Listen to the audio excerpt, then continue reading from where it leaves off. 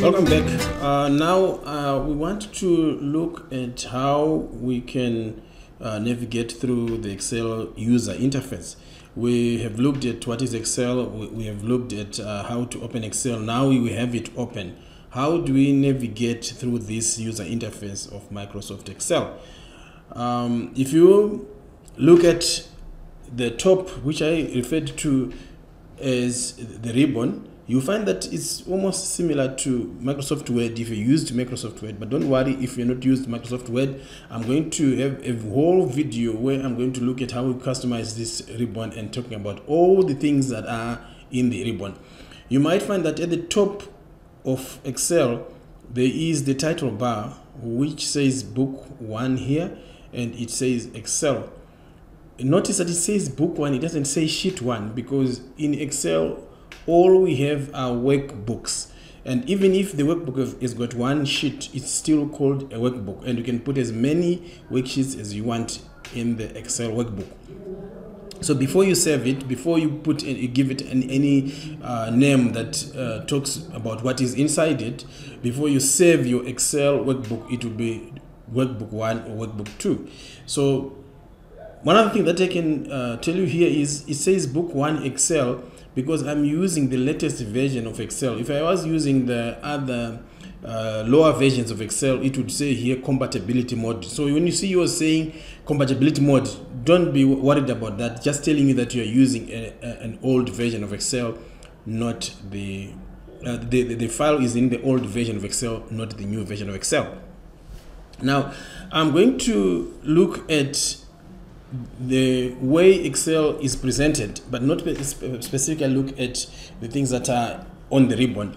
If you look at the top, we say this is the title bar, and after the title bar, we have these um, the commands that are the same as the previous version of Excel, like file, home, insert. All these will give us items underneath them, which are going to show in the uh, ribbon. If I click on insert, I'm going to see those that are related to inserting. If I click at page layout, I'm going to give get those that are related to page out layout. If I click on formulas, I'm going to get everything to do with formulas. It's a, it's, it's a forest of all these things. However, you don't necessarily have to memorize where you find what. You just have to have a general idea of if you're dealing with data you go to data if you're dealing with formulas you go to formulas but don't have to memorize any of these there is, however, another way of taking those that you use most of the time and putting them where you can always see them. This is what we are going to look at uh, now called the quick access toolbar. With the quick access toolbar, we are putting all the, the, the, the, the, things that we, are, we, we need to use on a daily basis. Let's say, for example, you insert charts uh, most of the times, or you insert pictures. You just go to insert and go to pictures and right click it and click on add to quick access toolbar. Now next time you want to insert a picture, you don't have to go to insert uh, from wherever you are. You just have to click at the top here and you are already inserting uh, a picture onto your Excel uh, spreadsheet. And to remove it, just right click it again and you can remove from quick access toolbar and that's how you take it off. Any of these things that you find on the ribbon can be added to the quick access toolbar that way. Now, there are other methods of adding like if you go to this arrow at the end of the quick access toolbar if you click it you can choose to put new which will help you to open a new workbook you can choose to put open which will open the files that you've worked on on excel. You can choose to put save is already there this is save. And if you want to email you can put email quick print which is what most of us use. And probably you can look at print view uh, print preview. Read you do and undo are always are also there. If you want to put sorting you can put there. As you go down here you see here it says more commands.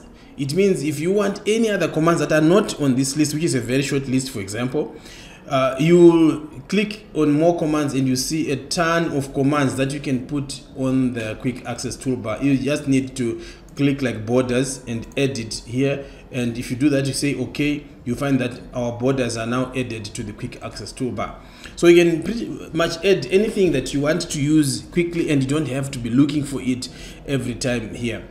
And while i'm also on the quick access toolbar i want to show you other ways of, of, of presenting this quick access toolbar you can just click here and put show it below the ribbon.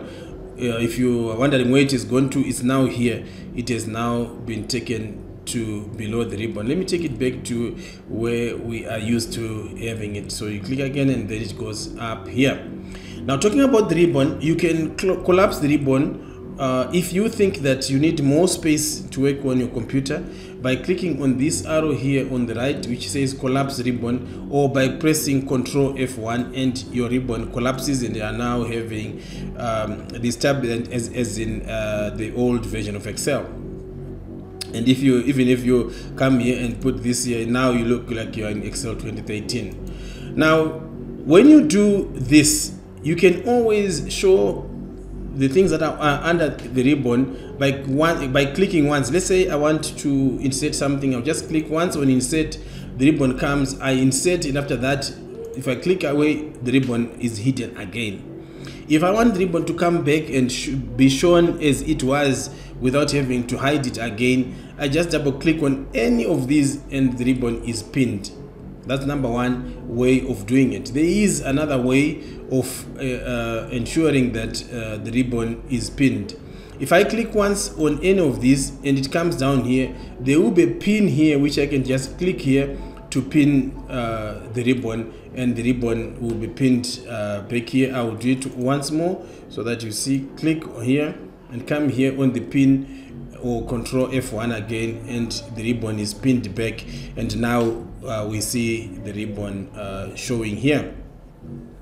I'm gonna move here and show you uh, below the ribbon there is of course the formula bar this one we're going to talk about it uh, later when you're using formulas and then at the top right hand corner here if you are registered on this Microsoft uh, Excel your name will be appearing here uh, because it's a registered uh, application. If you're not, you won't see your name here. Don't worry about that.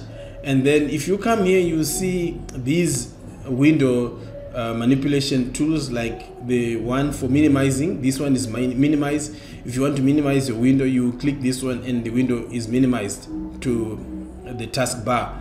This one is the restore button if you click and you want you, you, you, to see something behind this you can click like this and you can see that. And um, this one of course is the close button which you use uh, to close uh, your excel.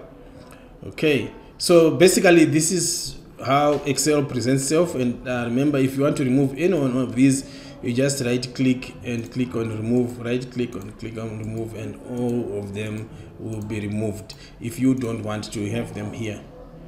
See you in the next video